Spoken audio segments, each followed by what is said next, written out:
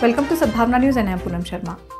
Tata Motors has announced that it has incorporated a wholly owned subsidiary, Tata Passenger Electric Mobility Limited (TPEML), which will manufacture electric motor vehicles.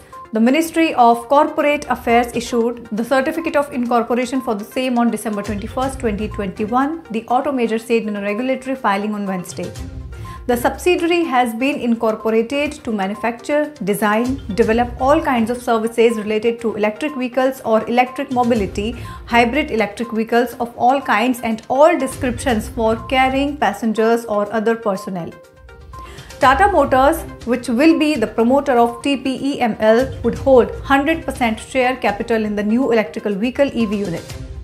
The new subsidiary has been incorporated with the initial capital of rupees 700 crore Tata Motors added in the exchange filing. TPEML has been incorporated with authorized capital of 700 crore equity shares of rupees 10 per each aggregating to rupees 700 crore. The entire paid up share capital will be held by TML.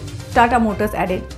The company had in October this year announced its plans to infuse over 2 billion in its EV business over the next 5 years after the Indian automaker made the announcement that it had raised funds from private equity firm TPG. TPG's Rise Climate Fund and Abu Dhabi State holding company ADQ had agreed to pump in around 1 billion to expand the company's EV business for which it would create a separate unit, according to the automaker. For arthroscopy and sports injuries.